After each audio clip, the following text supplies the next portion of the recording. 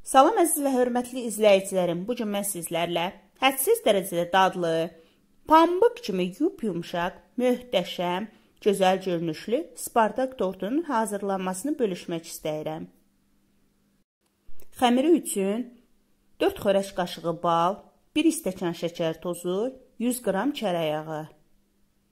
Qabın içərisinə əlavə edib parda əridirik. Qazanın içərisinə su əlavə etmişəm, yanar odun üzərinə yerləşdirmişəm. Qabımızı isə qazanın içərisinə yerləşdirmişik. Qabla su bir-birinə toxunmamalıdır. Artıq yağla bal, şəkər tozu əriyib bir-birinə qarışıb, şəkər tozu hiss edilmir. Üzərinə 10 qram qabartma tozu əlavə edirik və yenidən qarışdırırıq ağarıb köpüklənənə qədər artıq bəs edər. Qabımızı qazanın içərisindən çıxarırıq. İndi isə ununu hazırlayıram. 6 stəkan una, 3 xörək qaşığı kakao əlavə edirik.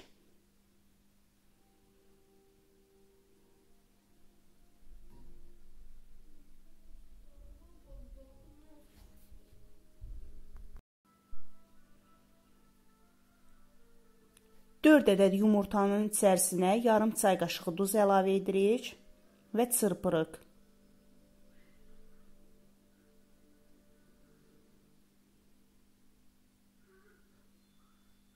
Yumurta açıldıqdan sonra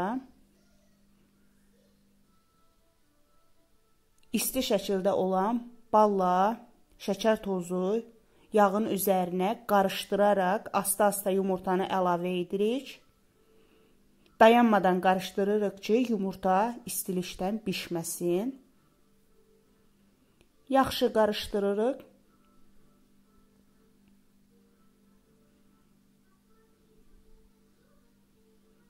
Və üzərindən unla kakaonun qarışığından əlavə edib xəmirimizi hazırlayırıq.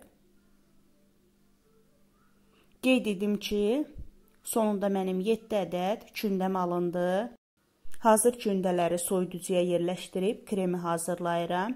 1 dolu stəkan, ikincinin isə yarısından şəkər tozu əlavə edirəm. 3 dolu xörək qaşığı un əlavə edib unla şəkəri qarışdırıram.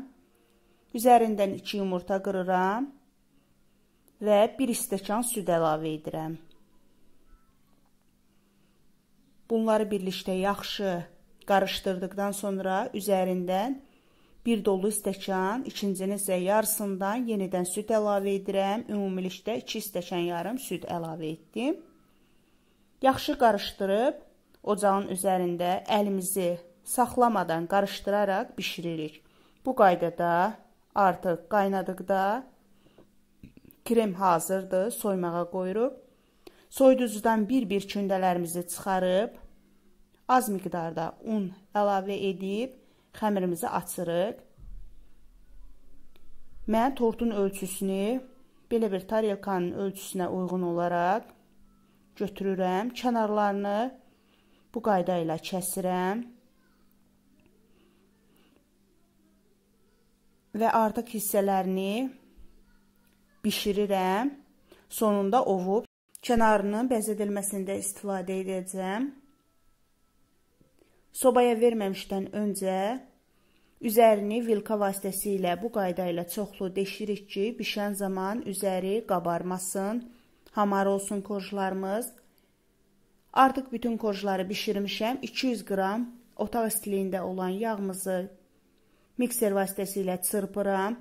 Üzərinə bişirdiyimiz kremi, hansı ki soyuyub, hissə-hissə əlavə edirik və çırpırıq.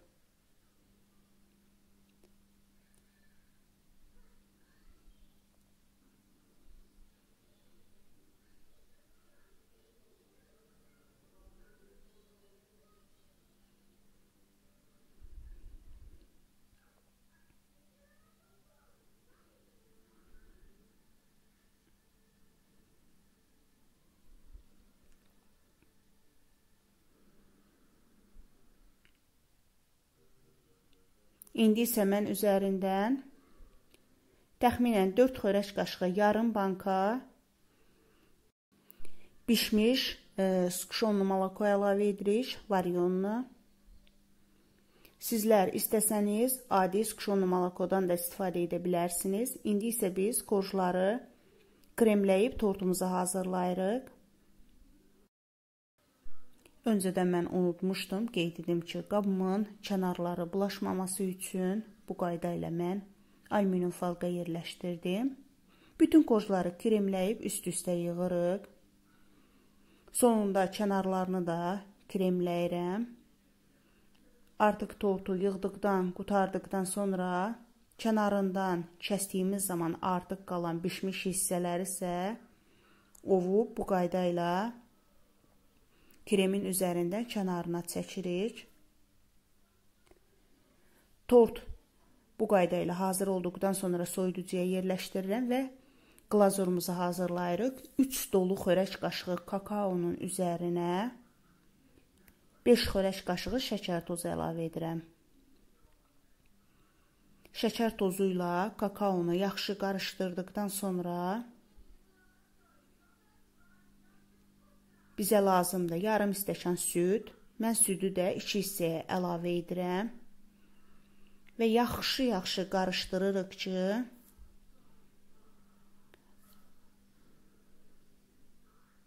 quru hissəsi qalmasın kakaonun. Bişən zaman düyünlənməsin. Artıq hazırdır. İndi isə peçimizin üzərinə yerləşdirib bişiririk. Əlimizi saxlamadan daimə qarışdırırıq ki, tavamızın dibi tutub yanmasın. Qaynamağa düşdüyü zamandan qatılaşmağa başlayacaq.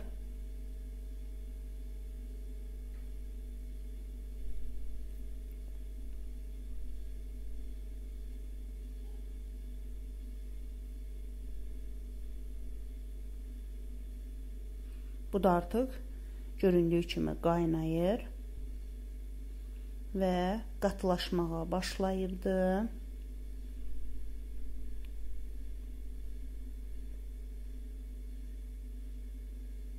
İndi isə mən üzərindən 70 qram çərəyağı əlavə edirəm.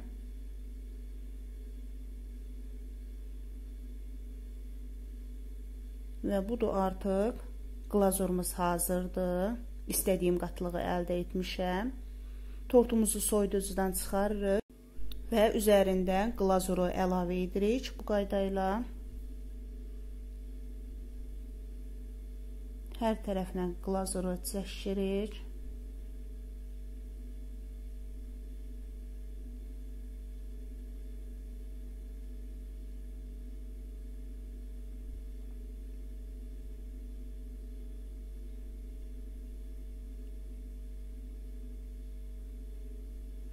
Və yenidən mən soyuducuya 15 dəqiqəlik yerləşdirirəm ki, üzərinə şokolad çəkmək istəyirəm. 15 dəqiqədən sonra soyuducudan çıxarıram. Mikrodalğalı sobada əritdiyim şokoladla bu qayda ilə üzərinə bir qədər də bəzək verirəm.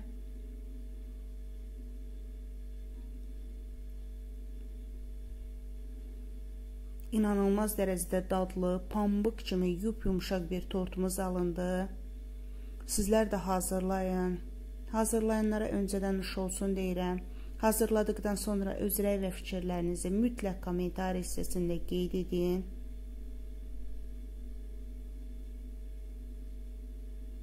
İndi isə kəsib sizlərə budur yumşaqlığını göstərirəm, içərisinin necə alındığını. Gördüyünüz kimi çox rahatlıqla kəsilir, yup-yumşaq.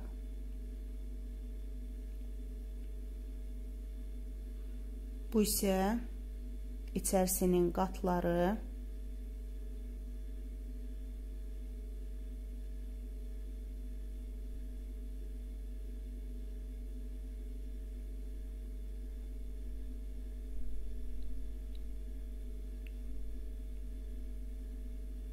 İnanıram ki, bəyənib hazırlayacaqsınız.